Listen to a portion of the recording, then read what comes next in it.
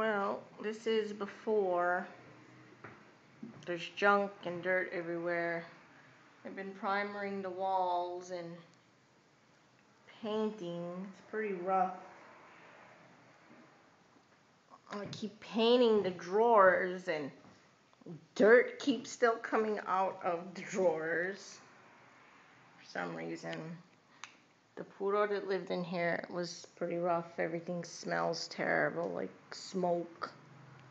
The walls were like brown, even after priming a couple times, but it's getting there slowly but surely. Well, I guess that's it. This is the beginning of Jam and Jams and Home Baked Goods.